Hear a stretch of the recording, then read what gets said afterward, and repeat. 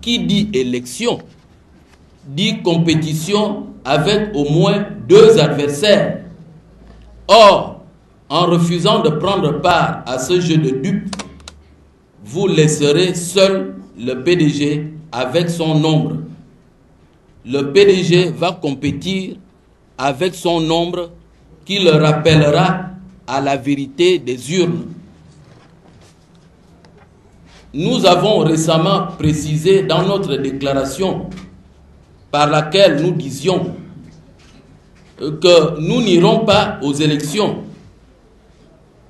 Nous avons dit que l'action de l'opposition ne doit pas se confondre à la politique de la chaise vide, contrairement à ce que disent beaucoup de gens.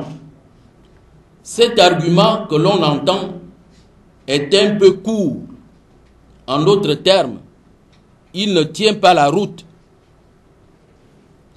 Quand on sait que la chaise est vide lorsque celui qui doit l'occuper est absent, mais qu'il y a aussi absence sur une chaise lorsqu'une présence ne sert à rien, lorsqu'elle ne peut en rien influencer le cours des événements qui se déroulent sous ses yeux.